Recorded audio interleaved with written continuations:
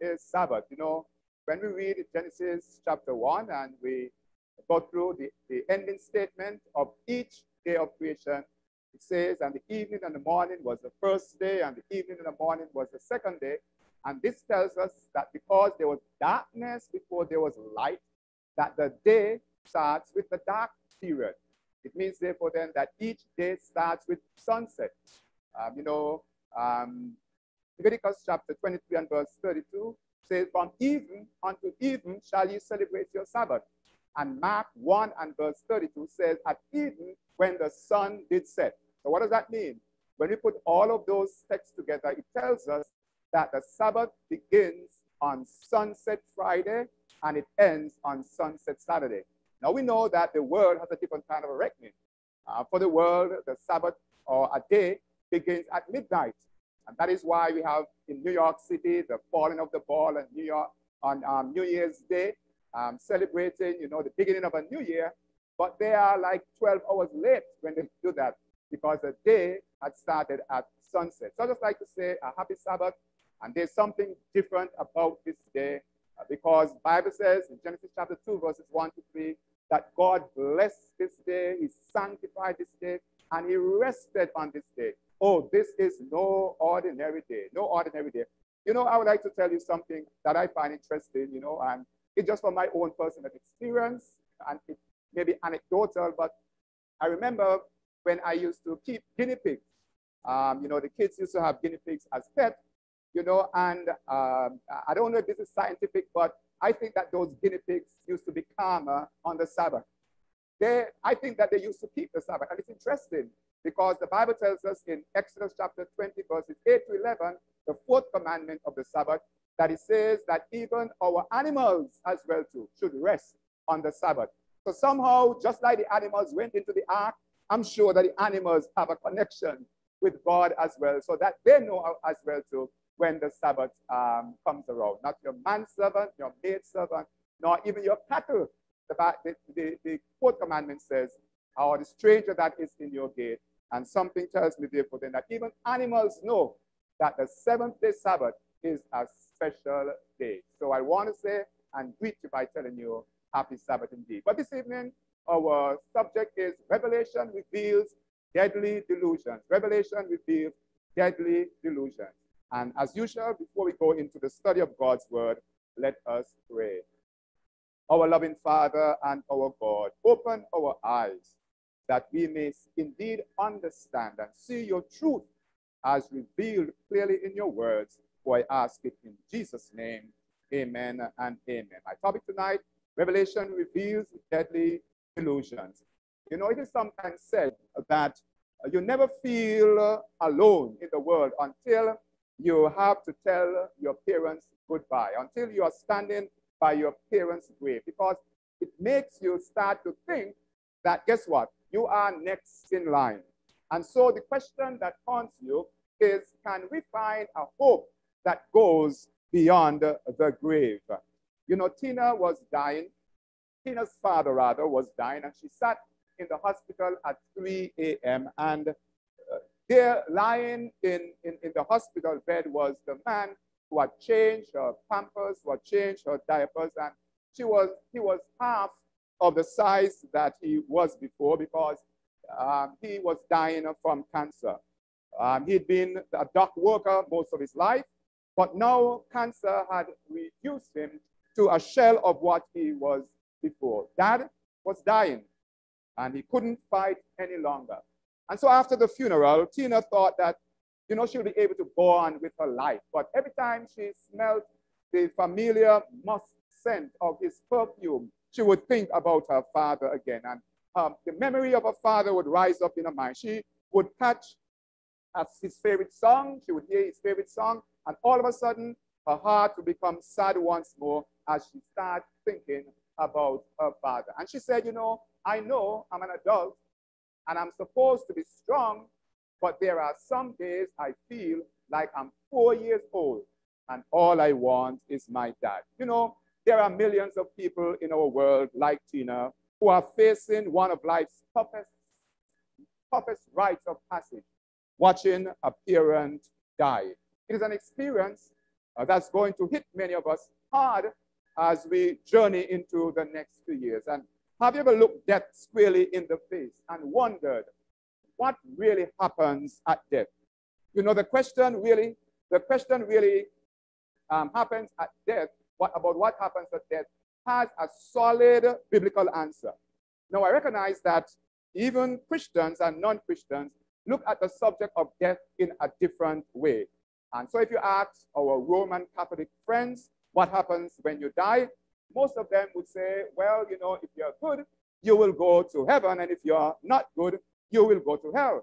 And some teach that if you are not good enough for heaven, but too good for hell, that you would even go off to a place called purgatory. And purgatory is in between heaven and hell. Well, if you ask most Protestants what the alternatives are, they would respond in a similar way. They would basically say that when you die, if you're good, you would go to heaven, and if you are not so good, you will go to hell.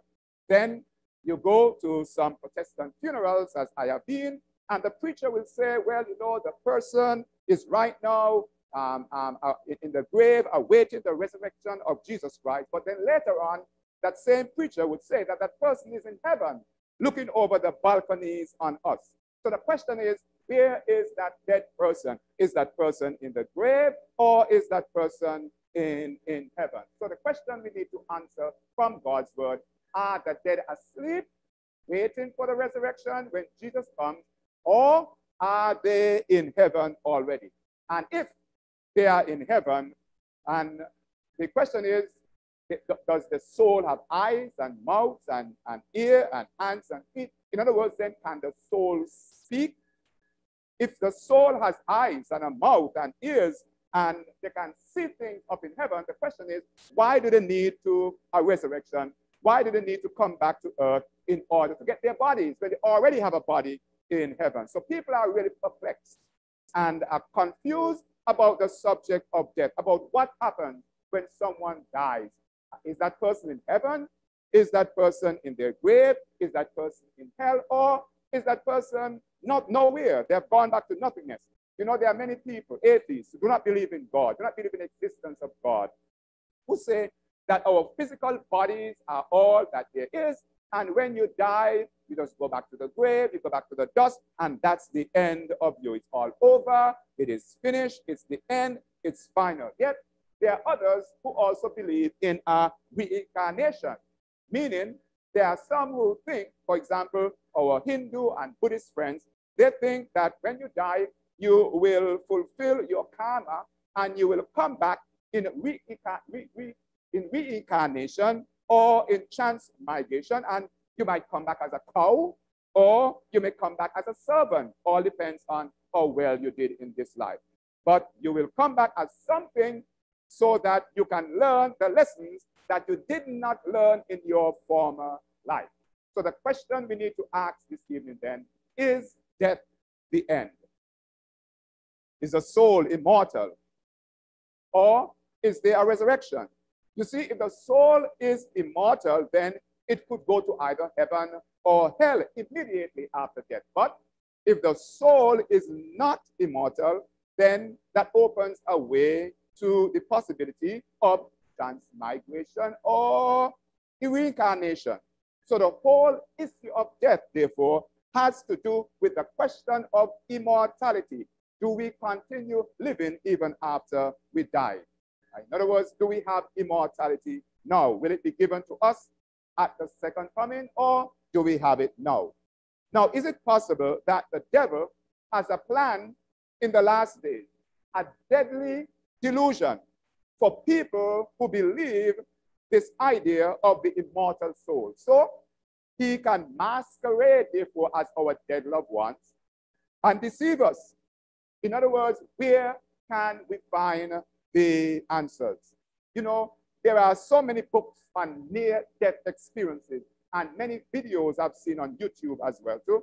And these books have been catapulted into bestseller status. Many of today's bestsellers on death and dying teach that when a person dies, they are not really dead. Many of them teach that the dead can actually communicate with the living. And I've seen talk shows where the guests claim that they can talk to our dead loved ones and they would tell one of the other guests what their dead mother or dead father or dead child is saying right now. You know, spiritualism is exploding, particularly among people who have a secular bent, who rule out the Bible and Jesus. These people believe that when you die, there's this immortal essence that is within you that can communicate with the living. Now, would you agree with me tonight that the only reliable place for us to find real and true information about what happens when someone dies is found in God's word, the Bible. You know, the Bible gives us dependable answers to the question, what happens when you die? It reveals not only what happens when you die, but also how to face death with new hope and confidence. So let's start then at the book of Revelation. That is our main um, book. Let's look at what happens at the very beginning of Revelation that reveals our ultimate human destiny. Now, the very first chapter of Revelation introduces us to this glorious being, the person of Jesus Christ. And he is dressed in glowing white robe, and his eyes are like the flames of fire. And Jesus identifies himself in this way in Revelation 1 and verse 18. He says, I am he who lives and was dead, and behold, I am alive forevermore. Amen. So Christ went into the grave and came out. He was resurrected from the dead. So throughout his life, Jesus experienced hunger and weariness and pain. You know, on the cross, the nails uh, driven through his hands brought him pain. The crown of thorns on his head brought him pain. The spear and the lashes brought him pain. He, he, his real physical body experienced pain. It was also subject to hunger and fatigue. But when Jesus was resurrected and came out of the tomb, he was clothed now with an immortal body. And the Bible says that Jesus was resurrected. Then it goes on to say that what? I have the what? And I have the keys of Hades and of death. So the reason that we need not fear death is because Jesus Christ conquered death. On the cross, Christ took upon himself the condemnation of our sin. And so since the wages of sin is, is death, Jesus experienced death for us. Jesus went into the grave and came out. He has the keys to the grave. And believers who die in and rest in Jesus can look forward to the resurrection. In fact, the Bible reveals the truth of the resurrection throughout its pages. It points forward to the second coming of Christ when Jesus comes and the dead are resurrected. You know, but somebody might say, what does the Bible teach about the idea of the immortal soul? Well, um, as usual, let's go back to the beginning. You know, sometimes in order to understand the end, we have to go back to the beginning. So let's go back to the book of Genesis, to the creation week, to find a clue to what happens when a person dies. Now, maybe we, it's best for us to understand what happens when someone dies if we can understand what happens when they were created, what happened at their creation. And so the Bible says this Genesis 2 and verse 7 and the Lord God formed man of the dust of the ground and breathed into his nostrils the breath of life, and man became a living soul. Now, notice what the Bible says. What happens? The Lord God forms man out of that, out of the dust of the out of the dust of the ground. So God formed Adam out of dust, not stardust, but dust, dirt. That is the body then the Bible says that he breathed into him the breath of life.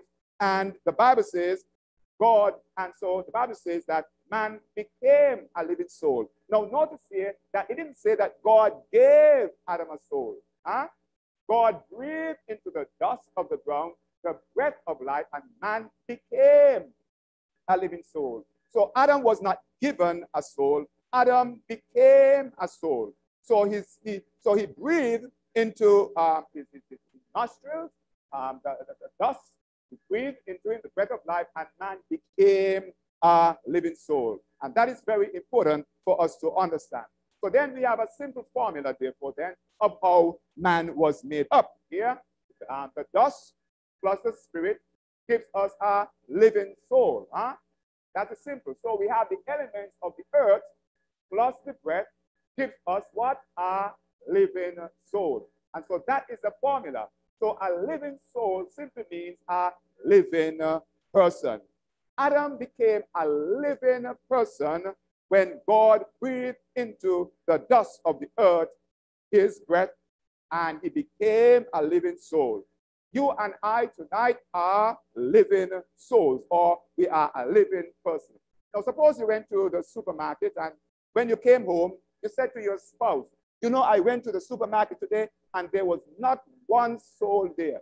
Now, your spouse might look at you and says, Well, in a joking way, they might say, Well, you know, um, it's a good thing you didn't see a soul because you would have been really scared if you see a soul because I've never seen a soul before. Now, right away, we know that that spouse would have been joking because we know in our natural language, when we say we didn't see a soul at a certain place, we mean that we didn't see anybody.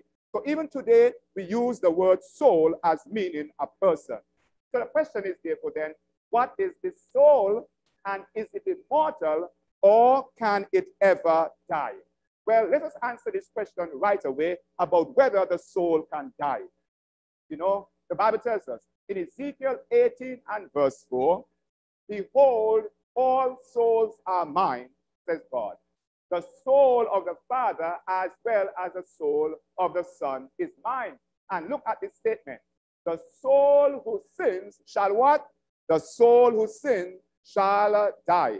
So right away, therefore, right away, therefore, we see then, right away, therefore, we see then that the Bible clearly tells us that the soul can die. Now, what is, look, look, so another name, therefore, then for soul in the Bible is simply a person or life. Again, look at some other translation. Um, the today's English version says, translate the same verse as the person who sins is the one who will die. Let us look at another translation. The Living Bible translates the same verse as saying, it is for a man's own sins that he will die. So we see, therefore, then, that there is no such thing in the Bible as an immortal soul, a soul that cannot die, something that is inside of us that cannot die. In fact, the Bible clearly tells us that God is the only one that has immortality. Now, listen here. The Bible uses the word soul 1,600 times, and never once does it use the word immortal soul. Huh? That's important. Over 1,600 times, the word soul can be found in the body, but never immortal soul. Never those two words together. Now, let us look carefully at what Jesus, the statement Jesus made in Matthew chapter 16, verses 25 and 26. And we're going to compare these two statements from Jesus, and we're going to understand again what is meant by the soul. Now, Jesus in himself speaking says, For whoever desires to save his life will lose it. But whoever loses his life for my sake will find it. Now, note what it goes on to say now in verse 26. For what profit is it to a man if he gains the whole world and loses his own instead of life? Now, Jesus says soul. Or what will a man give in exchange for his soul? So in verse 25, Jesus says, uses the word life, life, and in this in verse 26, he uses the word soul. So we see therefore then that Jesus basically is indicating that the, your life or your soul is the same thing. Jesus could have said, lose your life or lose your soul. Both are the same thing, as we see here in these two verses in Matthew chapter 16. Now, here we see that the Bible clearly tells us that only God is immortal. Mortal means subject to death. Immortal means imperishable. You cannot die. Some part of you that cannot die. So the Bible never uses the term immortal soul or the immortality of the soul. In fact, 1 Timothy 1 and verse 17 says, Now to the King eternal, immortal, invisible, to God who alone is wise, be honor and glory forever and ever. Amen. So the Bible refers to God or the King as being immortal. God is immortal. We receive immortality when Christ comes the second time. Because the Bible tells us that this mortal will put on what? Immortality. So when I come to Christ, he gives me the gift of eternal life. And that eternal life dwells in my heart right now. But the gift of immortality comes at the second coming of Jesus Christ. That is why 1 Timothy 6 15 and 16 says, He who is the blessed and holy potentate, the King of kings and the Lord of lords, who alone has immortality, dwelling in unapproachable light. Notice the Bible says that here what?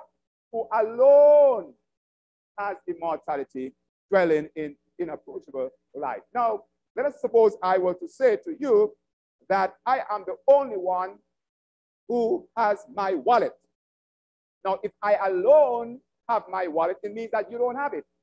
It means that no one else have it. Huh? That is what it means if I said I'm the only person that have my wallet. Who alone? So the Bible tells us that God alone has immortality the one that dwells in the unapproachable light, God the Father, God the Son, and God the Holy Spirit. The Bible is clear of this matter of immortality. So, where did this idea of this immortal soul come from?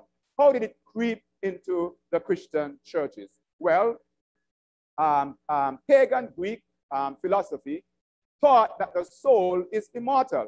They taught that there's some part of us that continue living after we die. You see, the Greeks thought that the soul could live separately from the body. They thought that the soul was a distinct entity which had life on its own. But the Bible teaches that human beings are an integrated whole.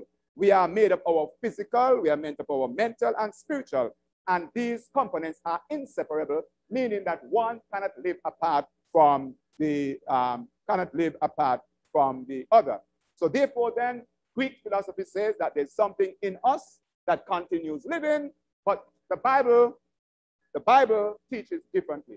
In fact, the Bible teaches that death is like a sleep. the Bible, the believer who dies is as secure as if he was sleeping in the arms of Jesus, resting from the heartaches and disappointments of earth until that glorious resurrection morning. But you know, Spiritualism teaches that the soul is immortal. Spiritualism teaches that when you die, there is this essence in you called the soul that continues to live, and you can come back and communicate with the living. So, do you see why this is such a deadly idea? Huh? Because what? The devil can use these false ideas about death in order to deceive us. And my dear friends, in the last days, that is exactly according to Revelation. That is what exactly the devil is going to do. His evil angels can masquerade as our dead loved ones. Uh, Bible says that, that, that Satan himself is transformed into an angel of light. They can take different forms. He knows how your grandmother looks. He knows how your grandmother looks. He knows how your and come back to you in that form and deceive you. They can mislead us into accepting Satan's lies. But here is what the Bible says my friends. 1 Corinthians 15, 51 to 52. It says, Behold, I tell you a mystery. We shall all sleep. Huh? Bible refers to death as a sleep, but we shall all be changed. It says, in a moment, in the twinkling of an eye. When shall we be changed? At the last trumpet. For the trumpet will sound, and what will happen? And the dead will be raised incorruptible, and we shall all be changed. Dear friends, this evening, when God created Adam, he placed his breath within him and not an immortal soul. Not a soul. Let's read Genesis 2 and verse 7 again. And the Lord God formed man of the dust of the ground and breathed into his nostrils the breath of life. And man became a living soul. So therefore, what when someone dies, then death is the creation in reverse. It means then if we separate God's breath from the body, then that person goes back to the dust. And let us see what the Bible tells us happens to the breath. So, does the Bible say the soul goes back to God? It says what goes back to God. Listen to what the Bible tells us. Ecclesiastes 12 and verse 7. It says, Then the dust, this is the reversal of the creation now, then the dust will return to the earth as it was, and the spirit will return to God who gave it. Someone says, Ah, there it is. See? See, it says that the spirit goes back to no believer or non-believer. This is what happens to everyone. In fact, even animals. Even animals, the Bible tells us, the spirit goes back to God. So whether you're good or bad, your spirit goes back to God. But let us see what takes place here. Is the spirit something that is conscious? Is the spirit something that can go on living without the body? You know, is it is, is the spirit is, is the spirit or the, the, the, the, is the spirit something like the soul, like an entity, like the soul? You know, we, we see here that in the Old Testament, in the Old Testament, the spirit, the Old Testament Hebrew word for spirit is ruach, ruach, which means breath. Okay, so we see therefore then um, the spirit or breath are the same thing. So the spirit is not a soul. Sometimes, you know, in loose language, people say your spirit or your soul, but the spirit is not the soul. A lot of people get confused. And so they think that the spirit and the soul are the same thing, but that is not so. The spirit and the soul are different. Now, God forms man out of the dust of the ground. That is his body. God breathed into man his ruach or his breath, the Hebrew word for spirit or breath, and then man becomes a living soul. What happens when someone dies? When someone dies, they go back to the ground. The spirit or the breath of life, the power of life goes back to God. Now, notice the Bible is the same thing. Let us consider Job, that the breath and the spirit are the same thing. Let us look at Job chapter 27 and verse 3. Here the Bible says, all the while my what? My breath is in me, and the Spirit of God is in my nostrils. Now, that is the way in which um, Hebrew literature is structured. You know, in school, I had to do Hebrew, and I had to study Hebrew literature. And uh, even in Hebrew poetry, they like to say the same thing twice. Many of the Psalms, you know, are like that. They use a structure that you refer to as parallelism. They would say the same thing twice, but using a different word. So notice here, that is what is taking place here. He said, All the while my breath is in me, and the Spirit of God is in my nostrils. So, in other words, then, breath and spirit are the same thing. Of course, we do not have spirit in our nostrils. What do we have in our nostrils? We have breath. Okay? That is breath. So every heartbeat comes from God. Huh?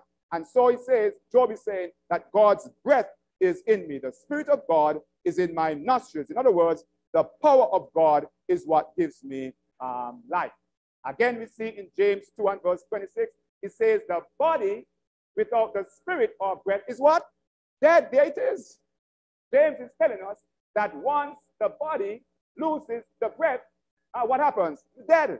So we see, therefore, then that death is simply a reversal of the creation process. Maybe I could illustrate this best if I consider a light bulb. So here I have a light bulb, and of course, I have the light bulb, it is off, it is not connected, and so now I plug in the light bulb. And when I plug in the light bulb or turn it on, now what happens? It now lights up. So the, the, the, the light, the current that goes to the light bulb is like the breath of God, and the bulb itself is like the body. So what happens now if I unplug the light bulb? What happens? the, the, the, the, light disappears. Well, where does it go? Where does that energy and support go? Well, you can say it goes back to the power station. And now we can say that light bulb is dead. So we see, therefore, then, that God's breath in our body is just like the power or the electricity in that light bulb.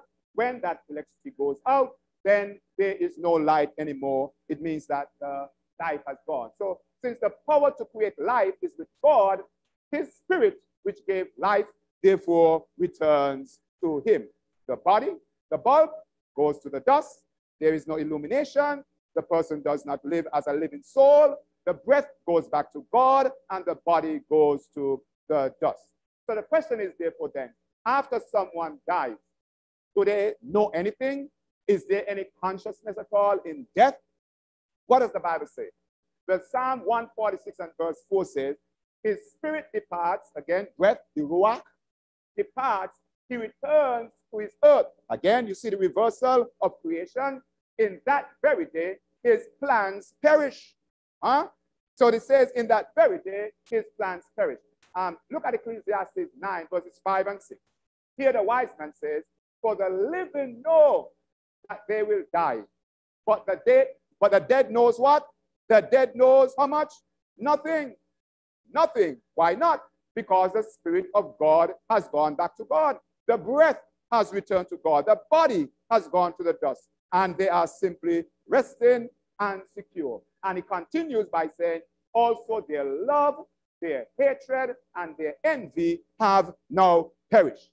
So if the soul went to heaven when you died, at least they will be loved because in heaven you'll be loving God.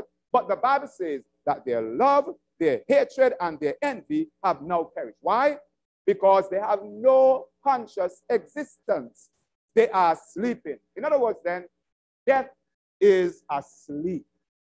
The Bible teaches that death is like a sleep that lasts until Christ's second coming. Bible writers declare death as a sleep more than 50 times. Let's look at Psalm 13 and verse 3. It says, Consider and hear me, O Lord my God, enlighten my eyes, lest I sleep the what? The sleep of death. Death is described as a peaceful rest or sleep in the Bible some 53 times. In the Bible, death is a rest. In the Bible, there is no immortal soul. First Kings 2 and verse 1, speaking of David, he says, Now the days of David drew near that he should die. David rested with his fathers and was buried in the city of David. You know, one day, as Jesus and the disciples were traveling to visit the home of his, his, his friends, Lazarus, Mary and Martha, he got some bad news that Lazarus had become very sick and therefore he died. Now, Jesus waited three days before arriving at the home. And while they were on the way, Jesus made this statement to his disciples. John 11, verse 11 to 14. He says, Our friend Lazarus sleeps. Huh? Death is asleep. But I go that I might wake him up. And then his disciples, not understanding what Jesus meant, says, Then his disciples said, Lord, if he sleeps, he will get well. You know, when you have a flu or a fever and so forth, or anytime you're sick, um, sleeping does, does the body good, helps you to recover. So they thought Jesus was speaking about Lazarus getting sick and then falling asleep in the evening. But the account says, however, Jesus spoke of his death. But they thought that he was speaking about taking a rest in uh, sleep.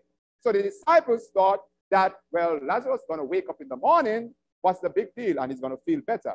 And so the account tells us, then Jesus said to them plainly, Lazarus is dead. You know, for Jesus, as for all Bible writers, death is but asleep. Jesus then visited Lazarus' home and he decided to raise him from the dead as a demonstration of his, um, of his power. And so this will become a powerful testimony that indeed Jesus has the power to raise us from the dead. Now, listen to what um, Jesus said to Martha. Jesus said to her, Your brother will rise again. Now, notice the words very carefully. Jesus didn't say to Martha, Well, Martha,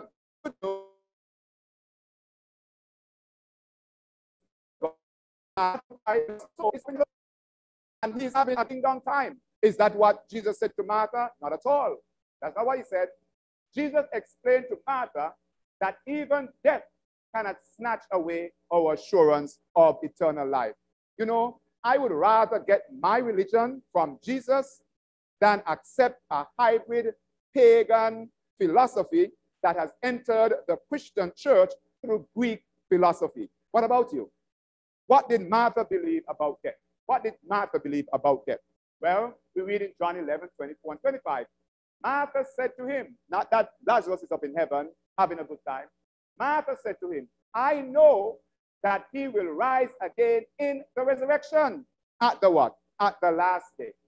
And Jesus said to her, I am the resurrection and the life.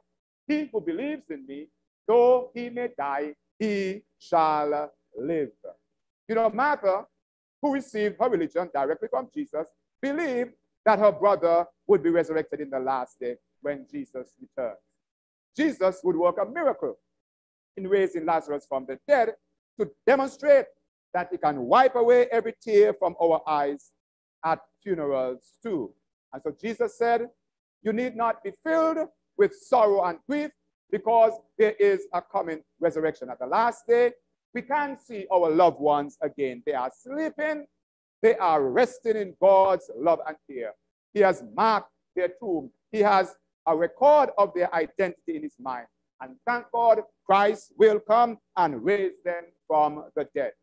Oh, my dear friends, this evening, the resurrection of Lazarus is the proof that Jesus will raise our believing loved ones too. So Jesus came to the tomb of Lazarus and said, Lazarus, come forth. Lazarus was sleeping. Lazarus was resting in Jesus' love and care. And Lazarus, we are told, came out of the grave alive. Now let's suppose that Jesus came to the grave and he, you know, believe what everybody else, but I'm uh, not everybody else, but what so many people believe that Lazarus was in heaven. Do you think that Jesus would have said, Lazarus, come forth? No. Jesus would have said, Lazarus, come down. Come down from heaven. Well, now, let me tell you something. If I were Lazarus and I was enjoying the bliss of heaven, and Jesus asked me to come down, I would have to apologize to Jesus and say, There's no way I want to come down to earth. I'm having such a good time up here in heaven. I don't want to come down to earth. But my dear friends, because Lazarus was sleeping the sleep of death, that is why Jesus Christ told him to come forth. And exactly like Jesus said, and exactly like Martha believed. You know, it is wonderful to know that God has marked the grave of our of that loved one, whether it's a husband or a wife or a child, aunt or uncle, a grandmother, father, or a mother. It is encouraging to know the heartaches of earth that they were troubled by are over for them. It lifts our spirit this evening to know that they are not suffering anymore because of cancer, because pain is over for them. What can be more reassuring than to think that our loved ones are in the grave and they are awaiting the call of the life giver. They are sleeping until the resurrection. In fact, Job 14 and verse 21 says, If his sons, talking about the dead man, if his sons are honored, he does not know it. If they are brought low, he does not see it. You know, I've had people that say to me sometimes, Oh, you know, I just love to think that my mother or my grandmother is up in heaven right now and she's looking over me and she's enjoying my graduation or she's enjoying my wedding. She would have liked to be here, but she's smiling. I know my grandmother is up in heaven and she's smiling right now. But what if you have a husband? Huh? What if you're a wife and you have a husband that is abusing you? Do you think that your mother, your dead mother, would be up in heaven feeling uh, um, comfortable knowing that she's watching you getting abused by a husband and she cannot do anything about it? You know, what if a mother dies and she's up in heaven and then she sees her child looking down the balcony of heaven, as some people think, and she sees her son running out in the street and there's a racing car that is coming down and she's there looking at a boy helplessly, not realizing, helplessly, because she cannot do anything about it. You know, what if a mother is up there in heaven and her son has been drafted in the army and goes to war? And what if caught by the enemy and he's tortured, his eyes are gouged out, and the mother is up in heaven and looking down, and she can do nothing about it?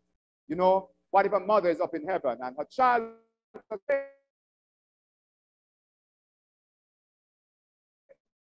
and ruin it? Do you think heaven would be a nice place for that mother to bear all that grief for their children's problem on earth, my dear friends, God is too merciful a God for that.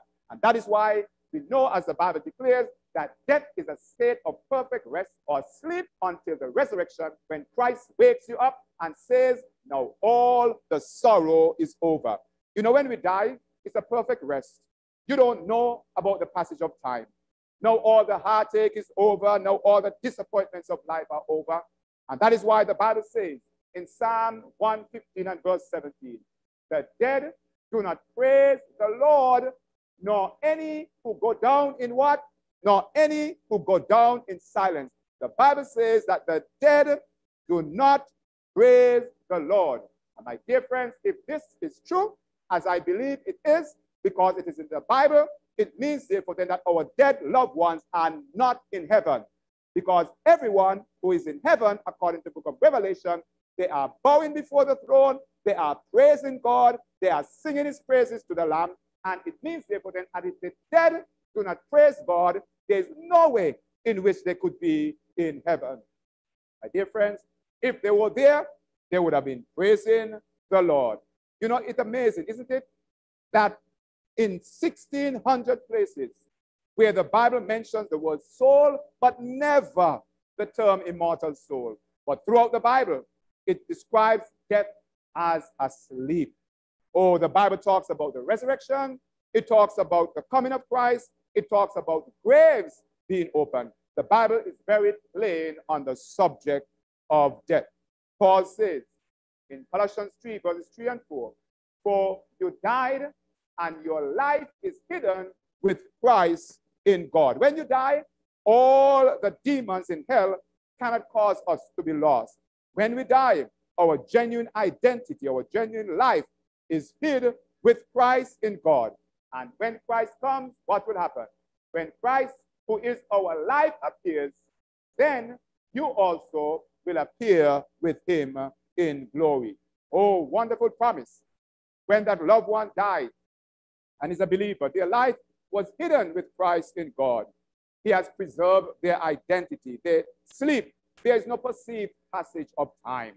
They don't know about the trouble of the kids are given. They don't know about the heartache of their brothers and sisters. They don't know about the trauma of the, the, the trauma their wife faces. They are sleeping. There is no passage of time. As Christ comes, our life has been hid with Christ in God. And he calls us and says, John, come forth. He says, Mary, come forth. You know, the graves are open and we are caught up to meet Jesus in the air.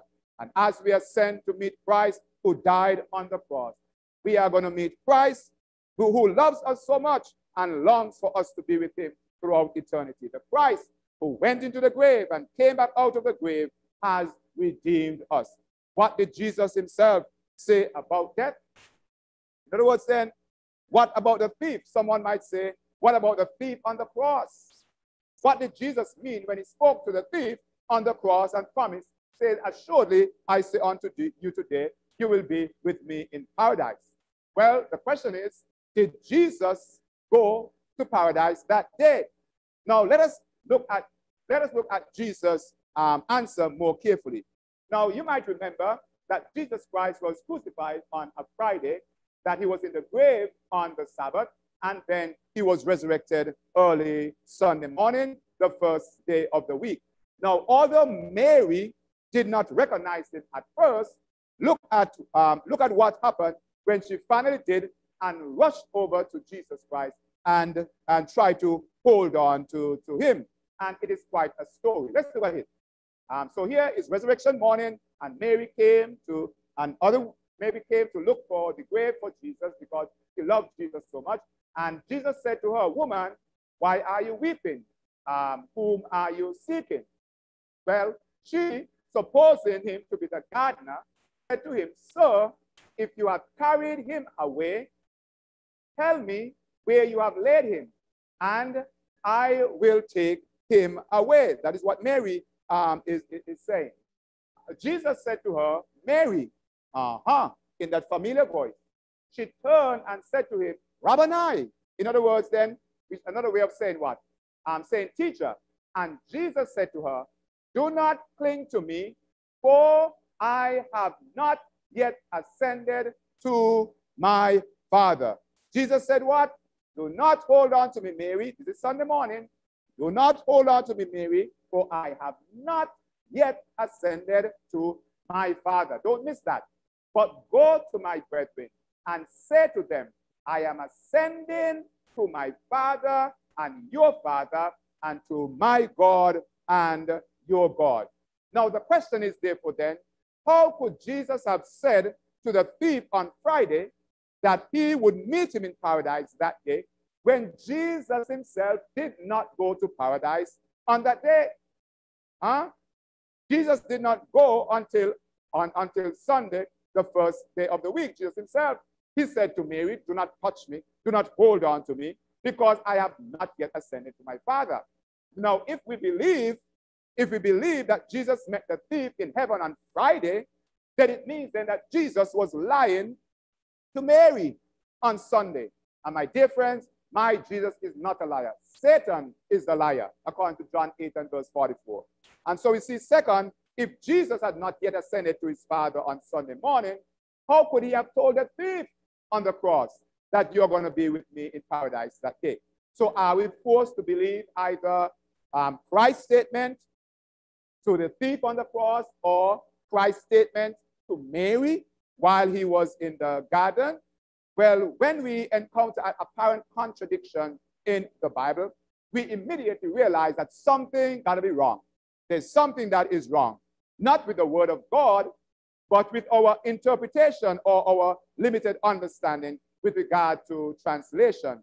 But this particular um, apparent contradiction can easily be solved when we look at just the placement of a comma in this statement. Now, the placement of a comma can make a world of a difference. Now, we must remember that the punctuation that are found in our Bible is not inspired. They were translated and the punctuation was given. In fact, if you were to look at very early manuscripts, Greek manuscripts, you would realize that all the letters run into one. There are no full stops, there are no commas, there are no question marks. Um, um, many of the early uh, manuscripts have all capital letters. So you have to know where a word starts and where a word ends. And that is not difficult to do. If I were to give you a simple statement like, I love you, you'll be able to read it. Okay? If they're all, if there's no, if there's no space between the letters. So that is how the manuscripts um, are. So when the translators translate um, these Greek manuscripts, they themselves have to determine the punctu um, punctuation. So punctuations were not added to the translations of the Bible until sometime after AD 1400 or so. So that is like 1400 years after Christ. So the punctuations are not inspired. The punctuations are placed there by trans, uh, translated. Now let's look at uh, the big difference that a comma can make. Let's look at the big difference a comma can make. So let's consider this first statement. A woman without a man is nothing. Okay? So that's the first statement without any punct, uh, with, well, except for the period at the end. A woman without a man is nothing. Now let's look at this statement now, but look at the placement of these commas, these two commas now. And now we have a woman without her, man is nothing. Okay, do you see the difference? Okay, forget the commas, and it says a woman without her man is nothing. But simply places the comma after woman and after her, this whole statement now is different. A woman without her, man is nothing. So we see therefore then that, that there is a big difference that a punctuation can make. So therefore then, let's look at this statement that Jesus Christ told to the thief on the cross and see how the placement of the comma by the translator placed this difficulty. He said, and in Luke 23 and verse 43 says, and Jesus said to him, Assuredly I said unto you, today you will be with me in paradise. And this is how most translations would have that um, written. But here, before, they have placed the comma before you instead of after today. Okay? So let us look now at how this would read when the comma is placed after today. Now it says, and Jesus said to him, Assuredly I said to you today. In other words, then Jesus is saying, I'm making you the promise today. So today belongs to when Jesus is making the promise, not to when he will be in paradise. So, and Jesus said to him, Assuredly, I say to you today, you will be with me in paradise. In other words, then, Jesus is saying, I'm making you the guarantee today. You are going to be with me in paradise. Not you're going to be with me in paradise today, but the promise I'm making is today. Now, the first, now we see then that the first passage in the Bible um, don't, the Bible therefore doesn't contradict one another. When God says 53 times that death is asleep, and when God says over 1600 times that there is no immortal soul, when the Bible says that the living know that they shall die, but the dead doesn't know anything, Ecclesiastes 9 and 5, verse 5. And you know that you have to place the comma correctly by placing it with the bulk of Scripture. But there is another reason it is doubtful that the thief even died that day. Uh-huh. Because you remember, you remember that the Bible says that the Roman soldiers came around and they realized that Jesus was already dead, but the two thieves that were on the cross, they were not dead. And what did the soldiers do? The soldiers broke the legs of the two thieves. And so it was traditionally known, history tells us, that crucifixion was a slow death. And that is why the legs of the two thieves that died on either side of Jesus Christ, their legs were broken so they couldn't run away. And so it's, it's, it's, it's therefore then um, very likely, it's very likely that the thief did not die on that day. In fact, the soldiers, the Bible implies that the soldiers were surprised that Jesus had already died, so they didn't bother to break his um, leg. So there is no clear text in the Bible that says that thief died that day. So what did Jesus mean then when he said to the thief, um, I will be with you in paradise? Well, Jesus said, I'm saying to you today, I'm making you the promise today, this day while I am dying on the cross, this day when it apparently appears as though I'm stripped of all my power, this day when men and women are ridiculing me, this day when blood is running down my face, this day with a crowd of thorns on my head, this day, this day, when it doesn't look like that I can save anybody, I am making you the promise today. I'm making you the promise this day that sometime in the future, you will be with me in paradise.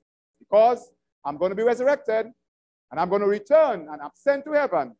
And your name is written down in my hand. And as I ascend to heaven, I will ascend there with your name on my lips. As I ascend to heaven, the tomb will be, and as I ascend to heaven, the tomb will be empty. Because of my resurrection, you can be resurrected one day as well. First Corinthians 15 and verse 55 says, O death, where is thy sting? O grave, where is thy victory? And verse 57 says, But thanks be to God who gives us the victory through our Lord Jesus Christ. Have you lost a loved one, a wife, a husband? Do you sometimes go to the grave of that loved one and kneel and put flowers there? The good news, my dear friends, is that death has lost its sting. The good news is that death has lost its hold. The good news is that the grave cannot hold us because Jesus Christ went into the grave. He came out of the grave, and our Lord, uh, our life is hid with Christ in God. Our identity is solid in Christ. Our names are on his lips. He's written pardon on the palms of his hands. And when he comes again, he will say, John, come forth. Mary, come forth. Ray, come forth. When Christ comes, he knows your name. He's going to call your name. That dead loved one will come out of the grave. Look at what the Bible says in Revelation chapter 20 and verse 6. Blessed and holy is he who has part in the first resurrection over such. The second death has no power. The second death is the eternal death. There is no eternal death for the believer.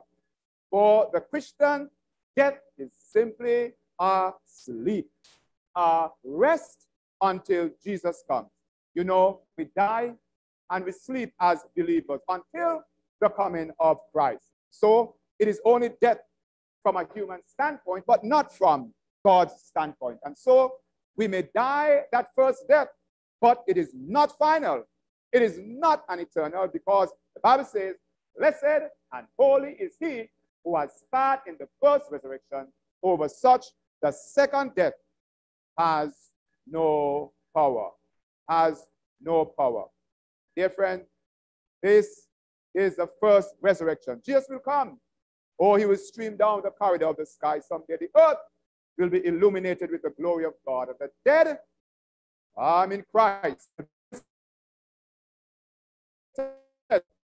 See glorious, immortal bodies that cannot be touched by death again. And with the living, they will be caught up to meet Christ in the air. Oh, I love this passage so much. First Thessalonians 4 and verse 60. It says, For the Lord himself, oh, not an impostor, Satan is going to try to mimic and pretend to be Jesus. Huh? And do a fake second coming. Huh? But it says, For the Lord himself will descend from heaven with a shout and with the voice of an archangel and with the trumpet of God, and the dead in Christ will rise first. Oh, if we are already in heaven. Now, why would Christ have to come to resurrect these old bodies? Why? If we are already in heaven. If souls can live in heaven without a body, why would Jesus have come back all to our bodies here in the cemetery? My dear friends, it just doesn't make common sense. All the Bible flows, all the Bible moves, all the Bible points to one glorious and climatic, climatic event why have Christians down through the ages longed for the second coming of Christ? Why? Because these Christians through the centuries have believed that at the coming of Christ, the dead would be resurrected and they would meet their dead loved ones again. We would receive a glorious, immortal body, and we would be caught up together with them to meet the Lord in the air. That is why verse 17 says, Then we who are alive and remain shall be caught up together with them in the clouds to meet the Lord in the air. And Bible says, and thus we shall always what? Be with the Lord. You know, Jesus made a promise to his disciples when he was leaving in John 14, 1 to 3. Told them, let not your heart be troubled. You believe in God? Believe also in me. He says, I'm going to come back for you. I'm going to go and prepare a place and come back. My dear friends, if we were going to meet him, Jesus lied to his disciples. Huh? He should have said, I'm going and you're going to come to meet me. But he didn't say that. He said, I'm going to heaven and I'll come back for you. I will come back for you. My dear friends, they are going to be, they're going to have glorious, immortal bodies. You will see that baby that you have laid in the grave again. That father that died of cancer, you're going to see again. That mother that you loved to embrace, you'll embrace again. And together, we are going to be caught up to meet Christ in the sky. Oh, think of the excitement. Think of the, uh, of the thrill that will flow through our bodies. Hence, a husband and wife who are alive, they are caught up to meet Christ together. Their son ascends with them, their daughter who died in that car accident ascends in them. All the resurrected saints, they are going to meet in the air. The husband looks at his wife and says, Oh, there's Sally. Ah, there she is. She's also resurrected. There's a husband that is caught up, and she appears more. Uh, uh, there's a husband caught up, and he looks at his wife, and she appears even more beautiful than the day he married her. He had burnt her, he, he had buried her rather, when she was 84 and he was 86. But now they are meeting together in eternal youth. And he says, Darling, here you are. You have come out. You are more beautiful than ever before. Oh, my dear friends, that is going to be an exciting day indeed. Revelation 22 and verse 5 says, And they shall reign forever and ever. You know, even in facing death, we can hold the hand of Christ. Huh? We can completely trust Christ who lays our loved ones in, uh, uh, when we lay our loved ones in the grave. You know, the Christ who holds our, our, our, our, holds our hand and holds us close to his breast and lets us rest. This Christ, my dear friends, has our identities in his mind. And someday he's going to resurrect our bodies from the grave. You know, many years ago, a famous pianist by the name of Thomas Dorsey. at this time he was living with his wife in Chicago. And while he was living there, he one night, you know, he had to um, go out and for a gig, and his wife was nine months pregnant. The baby was soon to come, any day now. And so she begged him and says, Honey, why do you have to leave? I mean, the baby might even come tonight. And he said, Oh, no. There's no way in which the baby is going to come tonight. And so he left and promised her that as soon as he's finished, he's going to um, take the first train from St. Louis and he's going to get and he's going to get back home. But you know, while he was there in St. Louis, and, uh, and he was about to, to, to, to return to Chicago, he got a telegram. And the telegram indicated that his wife had died during childbirth. Oh, of course, we can understand. His heart was broken. He started blaming himself, thinking about maybe I shouldn't have left. Maybe, maybe it is my fault. And so he rushed back on the train and he got to the hospital. And when he got to the hospital, you know, uh, uh, they told him, you know, you, you've had a bouncing baby boy, but we have also further sad news for you. We want to inform you as well to that your, your son also died. You know, Thomas Dorsey, he became depressed. He became so depressed. For two years, he was depressed. He, he, he, he couldn't go back to the piano again. He couldn't play music again because he had lost his wife and he had lost his son. And one day he was at a school, a university, went into a room and he realized that there was a piano. While he was there on that piano, in his own words, he says like, it's like droplets that came from heaven. There's a song, he says, that came to his mind. Song, a well-known song that came to his mind. Precious Lord, take my hand, lead me on, and help me stand. Through the storms, through the night. Lead me on to the light. Oh, precious Lord, take my hand. My dear listening friend tonight, if you too have lost a loved one, all you need to do is to ask Jesus to take your hand. All you can do tonight is ask Jesus, say, Precious Lord, give me that peace Give me that comfort. Give me that security. Precious Lord, help me to know that this loved one, as a believer, is safe and secure in your arms.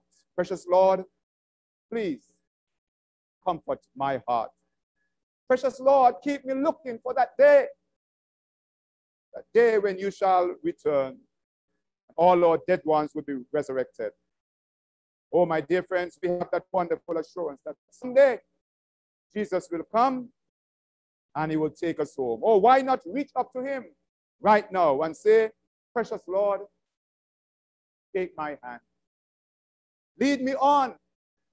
Let me stand. I am tired. I am weak. I am worn. Says he rode through the storms, through the night.